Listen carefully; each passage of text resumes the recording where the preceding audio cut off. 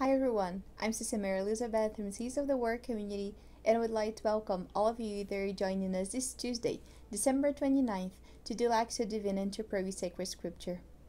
Today we will be reading the first letter of St. John, chapter 2, verses 3 to 11 for the first reading. So we are still in Christmas season. Today is the fifth day of the octave of Christmas, and we continue the reading of the first letter of St. John. So, first letter of St. John, chapter 2, verses 3 to 11. Responsorial psalm is Psalm 96, 9 6. And the gospel be Gospel of St. Luke, chapter 2, verses 22 to 35. First reading of St. John. My little children, now but this by this we may be sure that we know God if we obey his commandments. Whoever says, I have come to God, but does not obey his commandments, is a liar, and in such a person the truth does not exist. But whoever obeys his word, truly in this person the love of God has reached perfection. By this we may be sure that we are in him. How, whoever says, I abide in him, ought to walk just as he walked. Beloved, I am not writing you a new commandment, but an old commandment, that you have had from the beginning. The old commandment is the word that you have heard. Yet I am writing you a new commandment that is true in him and in you because the darkness is passing away and the true light is already shining. Whoever says, I am the light, while hating a brother, I am in the light, while hating a brother or sister, is still in darkness. Whoever loves a brother or sister lives in the light, and in such a person there is no cause of stumbling. But whoever hates another another believer is in the darkness, walks in the darkness, and does not know the way to go, because the darkness has brought has brought on blindness. The word of the Lord, thanks be to God. Again, I've been talking about this since 5 days ago that Christmas is the feast of light. The light of the world comes to us the light of the world came to us, for the people who walked in darkness have seen a great light. And this great light is the birth, is incarnation, is the presence of our Lord Jesus Christ. And in his first letter, Saint John tells us that to abide in Jesus is to walk in the light. And if you hate a brother or sister, you are not in the light. You cannot say, I am not in darkness. I walk in the light. If you hate a brother or sister, if you hate a believer, if you do not walk in the way of the Lord, you are in darkness. And you might not see it because darkness made you blind. That's a very strong word of God that, it, that wants to put away all the darkness and blindness of our soul. We may be blindness because of our sins, but the Lord is the light of the world and He wants to bring us His light and He doesn't want us to live in darkness. The Lord is the light of the world and He wants His people to walk in the light, not in the darkness.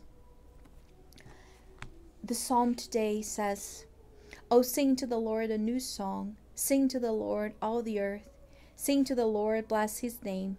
Tell of his salvation from day to day. Declare his glory among the nations, his marvelous works among all the peoples. For great is the Lord, and greatly to be praised. He is to be revered above all gods. For all the gods of the peoples are idols, but the Lord made the heavens. Honor and majesty are before him, strength and beauty are in his sanctuary. if we walk in light, in light, if we are not in darkness, we will see the honor and majesty of our Lord, the beauty in his sanctuary. The Lord wants us to see clearly.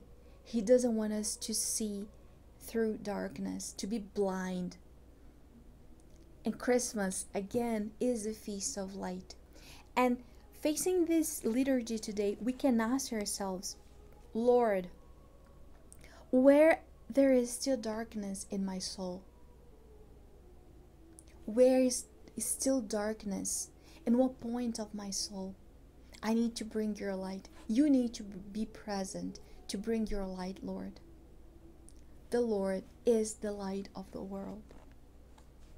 The Gospel of today, Gospel of St. Luke, chapter 2, verses 22 to 35 says, When the time came for their purification according to the law of Moses, Mary and Joseph brought Jesus up to Jerusalem to present him to the Lord. As it is written in the law of the Lord, every firstborn male shall be designated to, as holy to the Lord. And they offered a sacrifice according to what is stated in the law of the Lord a pair of turtle doves, of two young pigeons. Now there was a man in Jerusalem whose name was Simeon. This man was righteous and devout, looking forward to the consolation of Israel, and the Holy Spirit rested on him. It has been revealed to him by the Holy Spirit that he would not see death before he had seen the Lord's Messiah. Guided by the Spirit, Simeon came into the temple. And when the parents brought in the child Jesus to do for him what was customary under the law, Simeon took him in his arms and praised God, saying, Master, now you are dismissing your servant in peace, according to your word. For my eyes have seen your salvation, which you have prepared in the presence of all peoples, a, a light for revelation to the Gentiles, and for glory to your people Israel. The child's father and mother were amazed at what was being said about him. Then Simeon blessed them and said to his mother Mary, This child is destined for the falling and rising of many in Israel, and to be a sign that will be opposed, so that the inner thoughts of many will be revealed and the sword will pierce your own soul too. The Gospel of the Lord. Praise to you, Lord Jesus Christ. Today we hear the same Gospel as we heard last Sunday, the Holy Family Sunday. But back that on Sunday, we read St. Matthew's Gospel. Today we read St. Luke's Gospel. And in this theme of light, we see this we see Simeon here, this man that was righteous and devout, and that received a promise of the Lord that he would not see death before seeing the Lord's Messiah. And when Simeon saw the child Jesus being brought by his parents, he recognized the Messiah. And he said that Jesus is the light Simeon makes this prayer to the Lord, Master, now now you are dismissing your servant because my eyes see your salvation. My eyes see your Messiah. And this child will be a light for revelation to the Gentiles and glory to your people Israel.